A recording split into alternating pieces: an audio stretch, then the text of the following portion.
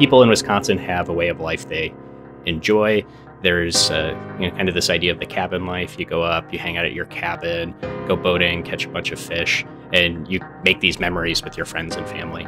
And invasive species can fundamentally change that. They can make it so you can't have that same opportunity any longer, um, or they could change what kind of memories you're making. Aquatic invasive species are non native plants, animals, and viruses that can either have environmental harm, economic harm, or harm to human health. So, really prominent examples of those in Wisconsin are zebra and quagga mussels, the round goby, Eurasian water milfoil. There's a really long list, and it's really easy to avoid some of those impacts in new waters just by inspecting your boat for plants and animals and mud, removing all that stuff, draining the water, uh, and letting your boat dry as long as possible. Every day we go without a new invasion, to me, that's something positive. So if we can keep an invasive species out of Wisconsin for some amount of time, that's some amount of time we didn't have to deal with it. And that also gives us more time to develop a potential solution if it does get here. I really enjoy connecting stakeholders to those resources and